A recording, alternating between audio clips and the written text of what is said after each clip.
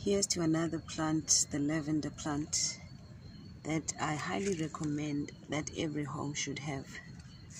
Good as a outside plant and also as an indoor plant. Repels um, mosquitoes and is a mood enhancer. And of course, you can do your own research and you research further what other benefits uh, the lavender plant has. Uh, it's a beautiful plant, and I think these three are about to to flower, if I'm not mistaken.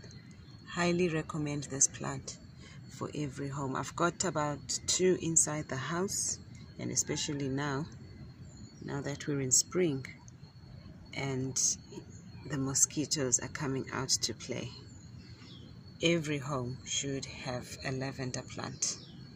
Here's to Miss Lavender.